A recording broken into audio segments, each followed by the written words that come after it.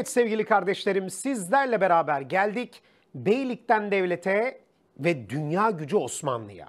Tabi Beylikten Devlet'e deyince bir garipsiyorsunuz. Osmanlı Devleti'nin kuruluş dönemi. Osmanlı, Orhanlı, 1. Muratlı, Yıldırım Bayezidli, Çelebi Mehmetli, kardeşlerim özellikle 2. Muratlı dönem. Osmanlı kuruluş dönemi diye geçiyor. Ve Beylikten Devlet'e onun dışında dünya gücü Osmanlı ise yükselme dönemi. Fatih Sultan Mehmetli, 2. Bayezidli, Yavuz Sultan Selimli, Kanuni Sultan Süleymanlı, Sokullu Mehmet Paşalı döneme geliyoruz. ÖSYM son yıllarda siyaseten sorularını buradan soruyor. O yüzden biraz siyaset üzerinde duracağız, harita üzerinde duracağız, yoruma dayalı sorular üzerinde duracağız ve güzel güzel sorularla burayı da sizlerle beraber kısacık zamanda özetleyeceğiz. Hadi gelin bakalım, bir bakalım hangi sorularımız var. Sevgili kardeşlerim, birinci sorumuzla birlikte başlayalım. Beylikten devlete. Peki, diyor ki Yusufçum, 1302 yılında Koyunhisar Savaşı. Çok önemli bir savaş biliyor musunuz? Osmanlı Devleti'nin Bizans'ta yaptığı ilk mücadele. Hatta tarihçilerin kutbu Halil İnalcı Koca diyor ki Osmanlı'nın kuruluşudur bu diyor. 1302 Koyunhisar, diğer adıyla Bafeon, diğer adıyla Yalakova Savaşı. Sevgili kardeşlerim, Osman Bey komutasındaki birlikler Bizans ordusunu yenmeyi başarmış. Bunun sonucu olarak kısa sürede Bursa Ovası'nda yer alan pek çok yerleşim birimi fethedilmiş. Daha sonra da diyor 1326'da Bursa kardeşlerim alınmış. Bak gidiyoruz. Değil mi? Bitinya kurulan bölge Bitinya diye geçiyordu ya Söğüt Domaniç bu bölge. Kardeşlerim Söğüt Domaniç'ten sonra Karacahisar, Karacahisar'dan sonra Bilecik, Bilecik özellikle maden bakımından elverişli olduğu için orayı da merkez olarak kullanmışlar hani. Kılıçtı, kalkandı, okucuydu. Aynı zamanda bak şimdi nereye geçtik? Bursa'ya. Yani fetihler batıya doğru ilerliyor. Güzel. Devam ediyoruz. Diyor ki Elif, şimdi Elif'te sıra. Yusuf söyleyeceğini söyledi. Elif ne diyor? 1329 yılında gerçekleşen Palekanon, diğer adı Maltepe kardeşlerim. Unutma, Koyunhisar diğer adı Bafeon ya da Yalakova. Kardeşlerim, Palekanon Maltepe Savaşı'nda Sultan Orhan, Orhan Gazi başta, Bizans İmparatoru 3. Andronikos'u mağlup etti. 1331'de İznik'i aldı. Gidiyoruz. 1337'de İzmit'i aldı. Bak bak. Söğüt Domaniç bölgesinden Karacahisar'a, Karacahisar'dan Bilecik'e, Bilecik'ten Bursa'ya, Bursa'dan kardeşlerim İznik, İzmit devam ediyor. Şimdi dikkat et. Diyor ki fethedildi. Güzel. Hacer nokta nokta. Bakalım ne diyecek. Diyalogda geçen konuyla ilgili arkadaşlarından sonra söz alan Hacer'in aşağıdaki yorumlardan hangisini yapması doğru olur diyor. Bakalım. Anadolu beylikleri daha bağımsız hareket etmeye başlamıştır. Ne alakası var? Hele bir dursun bakalım. Diyor ki Bizans'ın Avrupa olan kara bağlantısı kesilmiştir. Neyle kesilecek biliyor musunuz? Edir ne? Edirne'nin fethiyle birlikte kesilecek. 1. Murat dönemine doğru. Özellikle Osmanlı Devleti Balkan devletlerine siyasi üstünlük sağlamıştır. Balkan devletleri mi? Kardeşim ben kimden alıyorum bunları? Bizans'tan. Gel bakalım. Bizans Osmanlı Devleti'ni askeri yollarla durduramamıştır. Evet. Koyunhisar'ı kaybetmiş, Palakon'unu kaybetmiş. Gidiyoruz Bizans yönünde. Devam et. Osmanlı Devleti devletleşme sürecini tamamlamıştır. Hayır. O zaman doğru cevap burada ne olacak? Bizans Osmanlı Devleti'ni ne Koyunhisar'da ne Palakanon'da ne de kardeşlerim diğer mücadelelerde durduramamış. Bu yorum yapabilir mi Hacer? Yapar. Doğru cevap Denizli olacaktır diyoruz. Sevgili kardeşlerim gel bakalım şimdi. Yanda verilen haritada yer alan savaşları gerçekleştiren Osmanlı kuruluş dönemi hükümdarları aşağıdaki seçeneklerden hangisinde doğru olarak eşleştirilmiştir diyor. Şimdi şöyle demek istiyor aslında. Şurada verilen savaşlar kimler döneminde? Hadi gelin bir haritaya bakalım mı? Sevgili kardeşlerim, haritamızda özellikle kimler dönemine ait savaşlar verilmiş? Mesela Koyunhisar verilmiş mi? Osman Bey. Yok. Palekanon, Maltepe verilmiş mi? Orhan Bey. Yok. O zaman 1. Murat'la başlamış. Nereden anladın? Sazlıdere Savaşı. Kardeşlerim, 1. Murat döneminde hemen şuraya 1. Murat yazdım. Sevgili kardeşlerim devam ediyor bak. 1. Murat döneminde özellikle Sırp Sındığı Savaşı'nı vermiş mi? Vermemiş. Peki Çirmen'i vermiş mi? Vermiş. Birinci Çirmen zaten Sırp Sındığı Savaşı olarak da geçer. Bu da 1. Murat dönemi. Gel bakalım. Devam ediyor. Sevgili kardeşlerim, peki 1. Murat'ın son savaşı 1. Kosova'yı vermiş mi? Vermiş. O zaman bu da 1. Murat dönemi. Bak haritada 1. Murat, Sazlıdere, Çirmen, Kosova, kardeşlerim 1. Kosova bunlar verilmiş. O zaman 1. Murat'a bakacağım. Şurada 1. Murat var mı? Var. Gel bakalım. Başka da yok. Hemencik çözdüm soruyu. Kardeşlerim 1. Murat burada. Peki devam edelim biz yine de. Ardından kimleri vermiş? Mesela işaretlemediğimiz Nibolu Savaşı kim döneminde? Yıldırım, değil mi? Yıldırım Bayezid döneminde. Peki gel, kardeşlerim Varna ve ikinci Kosova. Kim dönemlerinde? İkinci Murat. İkinci Murat kardeşlerim dönemindedir diyoruz. Yani birinci Murat'ı vermiş, Yıldırım Beyazıt'ı vermiş, ikinci Murat'ı vermiş. Çok güzel bir soru. Gerçekten de çok hoş bir soru olmuş. Sevgili kardeşlerim işte bakınız bu şekilde bir soruyla da ne yapabilirler? Gelebilirler. O yüzden harita ve kardeşlerim savaşları bilmek lazım. Peki devam edelim. Sevgili kardeşlerim Yıldırım Beyazıt dönemine ait bir harita. Haritada Yıldırım Beyazıt döneminde Osmanlı Devleti'nin sınırları verilmiştir. Buna göre diyor yargılarından hangileri söylenemez? Vay bakalım. Yıldırım Bayezid döneminde neler görüyorum? Hele bak Candaroğullarını görüyorum. Birinci beyliklerden, ikinci beyliklerden pardon. Dulkadiroğullarını görüyorum. Ramazanoğullarını görüyorum. Yani tam manasıyla Anadolu Türk siyasi birliği henüz daha sağlanmamış gibi gözüküyor. Devam edeyim. Kardeşlerim Trabzon'da Trabzon Rum İmparatorluğunu görüyorum. Amasya'da Cenevizleri görüyorum. Bizans kardeşlerim şu bölgede görüyorum. Sonra Akkoyunlular, Karakoyunlular, Timur ve Mısır'a doğru Memlükleri görüyorum. Haritayı okuyorum bak harita okuma bu. Peki Anadolu'da büyük ölçüde Türk siyasi birliği sağlanmıştır. Doğru mu? Ya burada bir sürü beylik var. Sadece Candaroğulları, e Dulkadiroğulları, Ramazanoğulları kalmış. O zaman bunu alabilirim. Çünkü tamamen sağlandı demiyor, büyük ölçüde sağlanmıştır diyor. Osmanlı Devleti'nin Anadolu ve Rumeli toprakları arasında bütünlük sağlanmış. Kardeşim Anadolu Rumeli. Şuradaki Bizans, Karakedi gibi Anadolu ile Rumeli arasına sıkışmamış mı? O zaman Anadolu Rumeli arasındaki toprak bütünlüğü ne yapmamış? Sağlanmamış. Sevgili kardeşlerim Osmanlı Devleti Mısır'a hakimiyet sağlamış. Ya kardeşim Memlükler burada. Mısır'da hakimiyet nasıl sağlasın? Altını çizdim. Osmanlı Devleti Mısır'da hakimiyet kurmuştur diyemem. Bunu da çizdim, bunu da çizdim. Özellikle Bizans'ın Avrupa ile kara bağlantısı kesilmiştir. Evet, Bizans sadece şurada.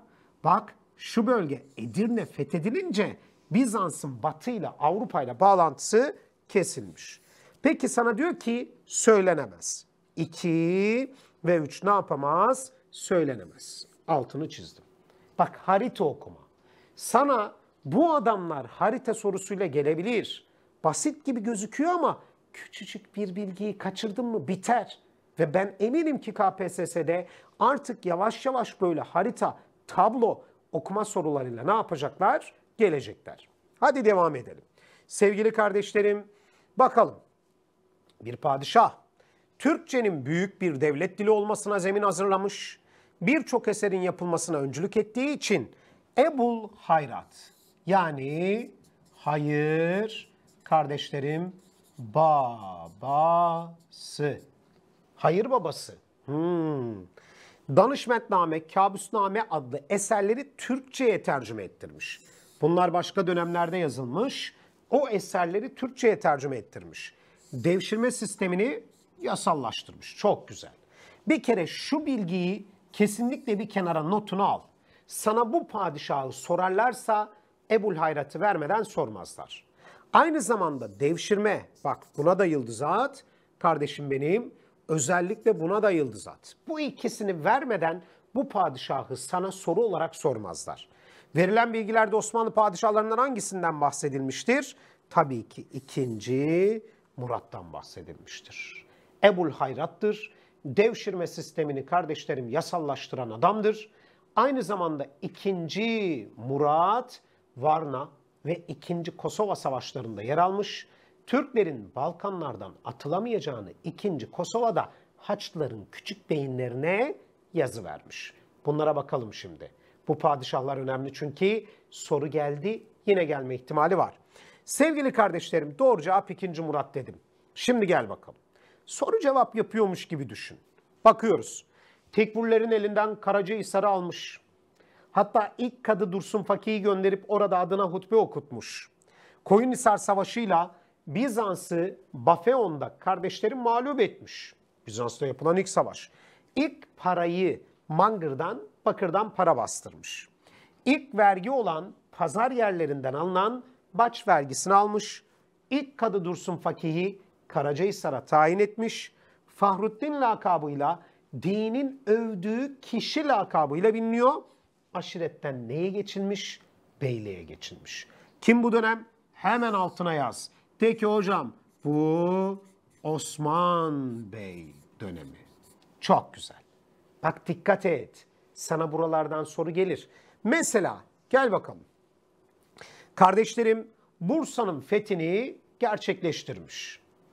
Karasioğullarının Osmanlı'ya katılmasını sağlamış. Denizci, donanması olan bir beylik. Osmanlı'nın donanma gücünü oluşturacak. Aynı zamanda Rumeli'ye geçişimizi de kolaylaştıracak. Çimpe Kalesi Bizans'tan hediye olarak alınmış ve Rumeli'deki ilk toprağımız olmuş. Divan-ı Hümayun'u kuran bu adam. Vezirlik makamını oluşturup üvey kardeşi Alaaddin Paşa'yı da oraya tayin eden bu adam.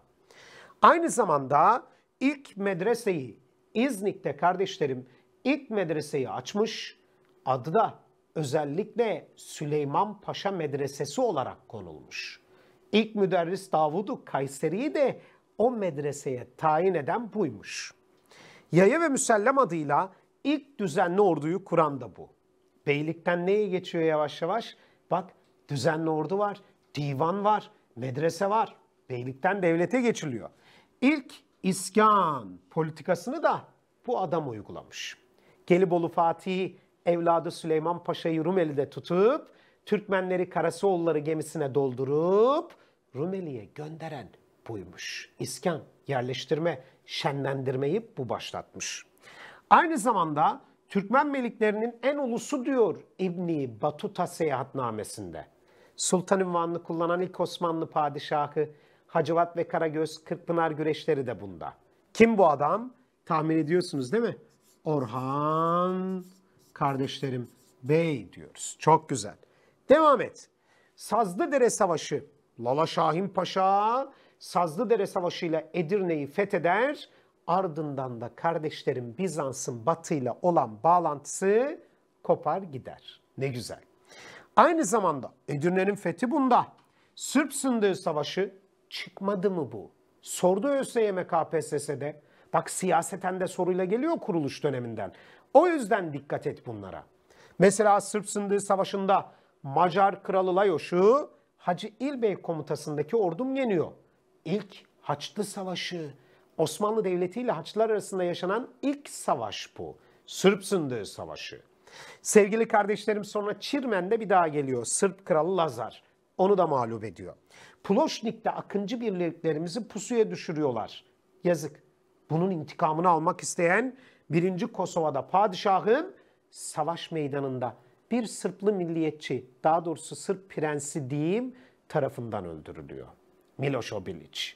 Özellikle kardeşlerim Anadolu'da Türk siyasi birliğini sağlama çalışmalarını baş yapmış. Hamitoğullarını para karşılığında satın alıp topraklarını Osmanlı'ya bağlamış. Germiyanoğullarını kız istemiş. Evladı Yıldırım'a kız almış. Osmanlı'ya çeyiz ve miras yoluyla bağlamış. Karamanoğulları ile mücadele etmiş ama biraz daha çalıyı dolaşalım demiş. Veraset sisteminde ilk değişikliği yapmış. Ülke toprakları hükümdar ve erkek çocuklarının malıdır anlayışını getirmiş. Rumeli Beylerbeyliğini kurup kardeşlerim özellikle Lala Şahin Paşa'yı da ilk Rumeli Beylerbeyi olarak tayin etmiş. Manastır merkezli. Kapıkulu ordusunun temellerini atmış.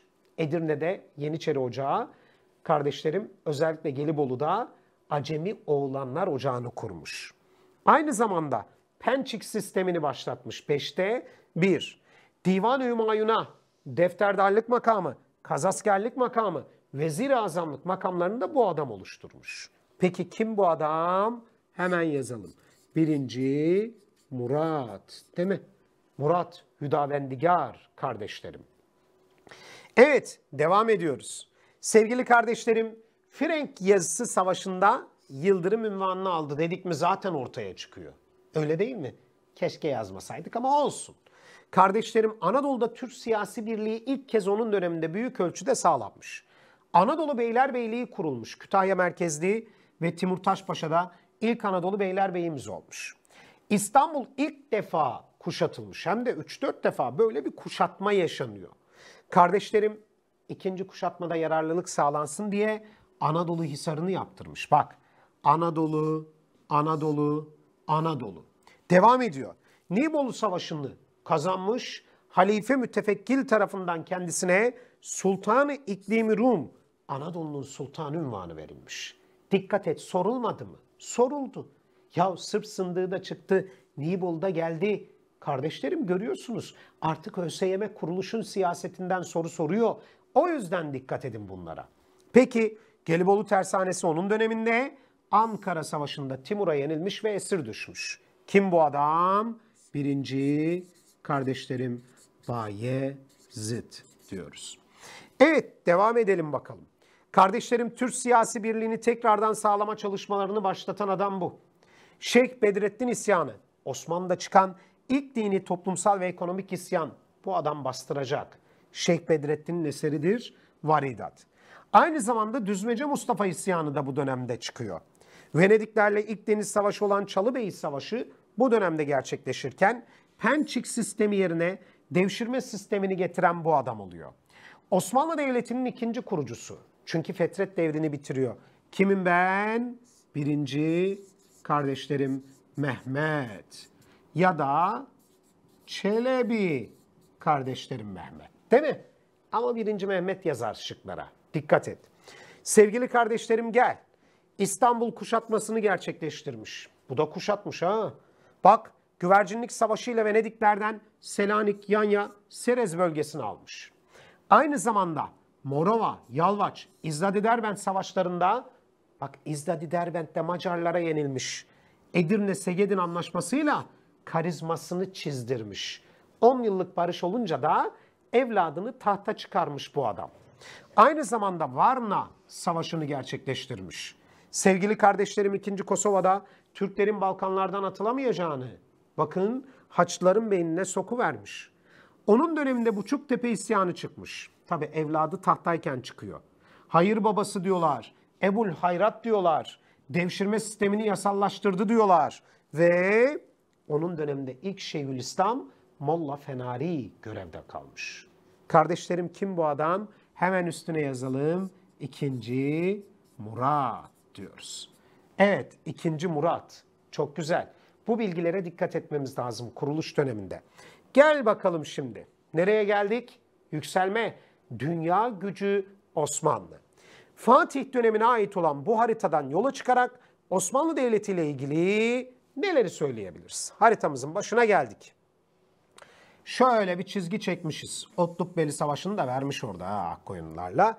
Ve gel bakalım. Özellikle o Karadeniz bak bak bak kırım mırım alınmış ne güzel. Bak buralarda kardeşlerim Eflak, Sırbistan değil mi? Bosna, Hersek, Arnavutluk, Mora ne güzel alınmış. Adaların bazıları Limni, mesela Midilli değil mi? Eğriboz bunlar da alınmış. Güzel. Sadece Rodos'u alamamış. Bak şurada beyaz gözüküyor. Rodos'u alamamış. Çok isteyip de denizlerde Rodos'u alamıyor. Karada da Belgrad'ı ne yapamıyor? Alamıyor. Güzel. Harita güzel gerçekten. Bakalım ne soruyor. Sevgili kardeşlerim Karadeniz bir Türk gölü haline gelmiş mi? Karadeniz'in Anadolu kıyıları bende. Karadeniz'in kuzey kıyıları Kırım'la bende. Evet Karadeniz Türk gölü haline getirilmiş. O zaman bu doğru. Osmanlı Devleti'nin batıdaki sınırları Macaristan ve İtalya topraklarına dayanmış mı? Evet bak bak Zagreb şu bölge Macaristan toprakları değil mi? Belgrad'a kadar dayanmış. Harika. Otronto'yu almış. Bak bak bak bak bak. Kardeşlerim İtalya'nın topu. Harika. Gel bakalım. Bu da doğru. Anadolu Türk siyasi birliği kesin olarak sağlanmış diyor. Ya kardeşim şurada Ramazanoğulları var. Şurada Dulkadiroğulları var. Onlar niye orada? Yani o yüzden henüz daha ne yapmamış? Sağlanmamış. Bunu eledim. Şimdi gel bakalım. Özellikle sevgili kardeşim ulaşılamaz diyor. O zaman doğru cevap nedir? Yalnız üçtür. Altını çiziyorum. Var mı burada bir sıkıntı? Harika. Bak çok güzel bir soru ha. Haritadan yola çıkarak bunları bulduk. Devam ediyorum. Şimdi Fatih döneminde 9 tane önemli siyasi olay var. 1. İstanbul'un fethi. Değil mi? 2. Batıdaki fetihler bak. Doğudan almış, Eflak almış, Sırbistan almış, Bosna'yı almış, Hersek'i almış, Arnavutlu almış, Mora'yı almış. 2. Batıda kardeşlerim fetihler. Güzel. Peki 3. Mora kardeşlerim ve Trabzon. Mora ve Trabzon'un bir önemi var. Ne biliyor musunuz? Bizans'ı diriltme umutlarını yok etmek için alıyor. Bizans'ın tohumları burada. Bizans'tan kaçanlar burada. Haçlı seferleri 4. Haçlı seferinde İstanbul yağmalanınca kaçanlar, Komenoslar gidip kardeşlerim Trabzon'a yerleşmişler. O yüzden de Trabzon ve Mora'yı alması Bizans'ı diriltme umutlarını yok etmek için. Devam ediyoruz. 4. Denizlerde kardeşlerim Venediklerle mücadele ediyor. Bak Taşos, Limni, Midilli, Eğriboz buraları alıyor. Çok isteyip de alamadığı neresi var? Rodos. Rodos. Batıda Belgrad, kardeşlerim özellikle denizlerde de Rodos. Çok isteyip de alamadığı yerler. Peki 4. Denizlerde Venedikleri yenmiş, adaları kapmış, Venedikleri suyun dibine sokmuş çıkarmış, sokmuş çıkarmış. Ardından Venediklere sarılıp onlara ticari imtiyazlar, ayrıcalıklar vermiş. Vay kardeşlerim kapitülasyonlardan vermiş onlara. Niye? Hem ticareti geliştireyim hem de Haçlı ittifakını bozayım diye. Devam ediyor. Sevgili kardeşlerim 5 numara. Özellikle Anadolu'nun kuzey kıyılarında Cenevizlerden Amasra'yı almış. Lala lala Çeşmi Cihan bu mu ola sözünü Amasra için söylemiş. Aynı zamanda Candaroğullarından Sinop almış. Trabzon Rum İmparatorluğunu almış. 5 numara Karadeniz'in güney kıyılarını, Anadolu'nun kuzey kıyılarını almış. 6 numara Kırım'ı fethetmiş, Karadeniz'i Türk Gölü haline getirip İpek yolunu denetim altına almış. Kardeşlerim 7 numara Otlukbeli Savaşı ile birlikte Akkoyunlu devletini yıkılış sürecine sürüklemiş. Uzun Hasanlı Akkoyunlu. Aynı zamanda 8 numara Memlüklülerle Hicaz su yollarından dolayı bozuşmuş. Ve 9 numara kardeşlerim 9 numara Otronto seferi olmuş. Özellikle 9 numarada Otronto seferi. Evet sevgili kardeşlerim özellikle dikkat et. Bunlar önemli. Şimdi bir daha şöyle geleyim. 9 tane önemli gelişmeyi sizlerle beraber ne yaptık? İfade ettik Fatih döneminde. Gel bakalım Fatih döneminde özellikle kardeşlerim geldik sizlerle beraber diğer gelişmelere, kültür ve medeniyet noktasına da bakalım. Siyaseti bir kenara bıraktık. 9 siyasi olayı gördük. Gel bakalım. Özellikle kardeşlerim şuradan kalemimi seçeyim. Bak divana vezir azamlar Fatih döneminde başkanlık etmeye başladı. Niye sadrazamı divan Hümayun'a başkanlık ettirdi? Merkeze otoriteyi güçlendirmek için. Mesela Kanunname-i Ali Osman yayımlandı. Değil mi? Sancak sistemi, culus bahşişi, müsaadere, kardeş katli ve devlet memurlarının protokolde, divandaki üyelerin protokoldeki yerleri hepsi bu kanunnamede. Ve Osmanlı'da ilk yazılı kanun olarak geçiyor. Kanunname Yali Osman. Aynı zamanda ilk altın parayı bastırdı. Sevgili kardeşlerim Sahne Seman Medresesi'ni kurdu. Çok güzel. Bunun yanı sıra Topkapı Sarayı İstanbul'da onun döneminde yapıldı. Çinili Köşk Fatih döneminde yapıldı. Kardeşlerim Ayasofya Kilisesi camiye çevrildi. Ali Kuşçu İstanbul'a getirildi. Aynı zamanda padişah portresi kardeşlerim bu dönemde İtalyan ressam Bellini, Rönesans ressamı geliyor. Fatih'in portresini yapıyor. Bir de Sinan Bey'in yaptığı gül koklayan Fatih portresi var. Enderun Mektebi Topkapı Sarayı'na ne yaptı? Getirildi. Sevgili kardeşlerim, şimdi geldik Fatih'ten sonra ikinci Beyazıt var. Orada Cem Sultan olayına dikkat et. Özellikle Cem Sultan olayı iç sorun kendi sorun haline gelen olaylardan bir tanesi bilgin olsun. Sevgili kardeşlerim gel şimdi diğerine. Özellikle bak aşağıdakilerden hangisi 1. Selim tahta geçtiğinde var olan siyasal, sosyal, dini şartlar ile ilgili doğru bir bilgi değildir diyor. Nedir o bilgi? Kardeşlerim Anadolu'ya doğru uzanan Şii tehdidi var. Yavuz Sultan Selim döneminde hemen yanına yaz. Safeviler. Kardeşlerim Safeviler Şii tehdidini Anadolu'ya doğru yaklaştırıyorlar. Bunlara Çaldıran Savaşı'nda günlerini göstereceğiz. Mısır ve Suriye topraklarına Memlüklü devleti egemen. Doğru mu? Evet. Bunları da Mercidabık Ridaniye'de bitireceğiz. Dulkadiroğulları Beyliği Osmanlı Devleti aleyhine Memlüklerin yanında yer alıyor. Doğru mu? Doğru. Bunları da Turna Dağı ile göndereceğiz. Peki Safeviler Akkoyunlara son vererek yakın zamanda kurulmuş mu? Evet.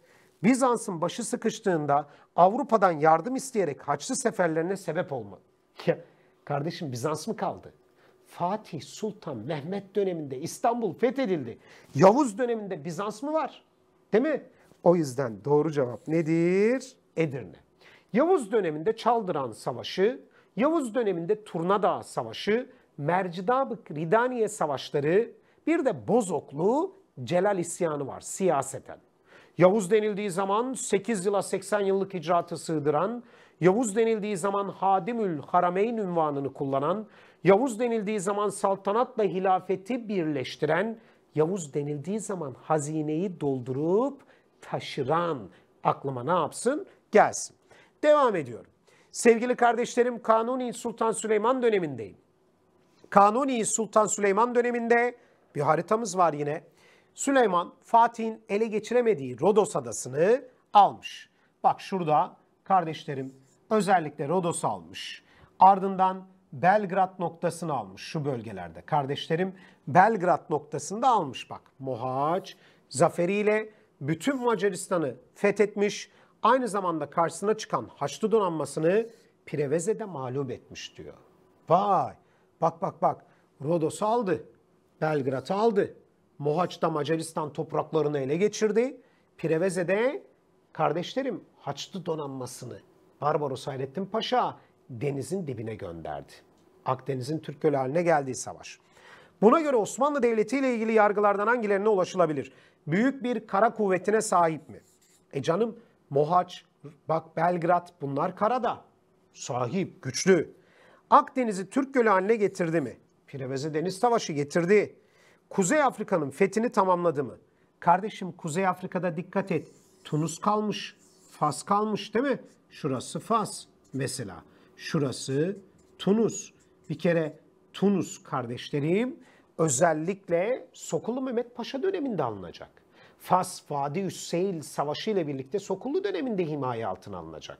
Kanun döneminde Kuzey Afrika'nın fethi ne yapmamıştır? Tamamlanmamıştır. Hangisine ulaşılabilir dediği için de doğru cevap kardeşlerim 1 ve 2 olarak ne yapar? Geçer. Şimdi geldik Onur öğretmen öğrencilerine Kanuni Sultan Süleyman döneminde denizlerde yaşanan gelişmelerden bahsederken denizlerde Avrupa karşısında büyük bir güce sahip olduğumuzu vurgulamıştır. Güzel. Aşağıda verilen olaylardan hangisi sonuçları ile düşünüldüğünde Onur öğretmenin Osmanlı donanmasının Avrupa karşısında önemli bir güç olduğu tezine kanıt olarak gösterilemez. Başarısız olduk yani. Onu istiyor. Mesela Preveze Deniz Savaşı, Barbaros Hayrettin Paşa çok önemli. Barbaros, Akdeniz, Türk Gölü kardeşlerim. Trablusgarp'ın fethi, evet bak denizlerde güçlüyüz. Rodos, evet Senjan Şövalyeleri. Cerbe Deniz Savaşı Haçlıları bir kez daha mağlup edip Akdeniz'deki üstünlüğümüzü pekiştiriyoruz. Peki Malta kuşatması sordular. Turgut Reis. Kardeşlerim Turgut Reis ağır yaralanıyor. Malta'yı kuşatıyoruz ama alamıyoruz. O yüzden de dikkat edin. Kanuni döneminde denizlerde o muhteşemliğimize gölge düşürüyor. Hint deniz seferleri de öyle. Yani Malta kuşatması yerine Hint deniz seferleri de yazılabilirdi bu soruda. Özellikle kardeşlerim dikkat ediniz. Bakın bunların hepsi zafer, zafer, zafer. Ama Malta'da Turgut Reisimiz ağır yaralanacak ve şehit düşecek. Sevgili kardeşlerim, özellikle sizlerle beraber beylikten devlete ve dünya gücü Osmanlı adını verdiğimiz üniteyi de bitirdik. Şimdi geldik Osmanlı kültür ve medeniyetine. Hadi bakalım diğer videoda Osmanlı kültür ve medeniyetiyle yolumuza devam edelim.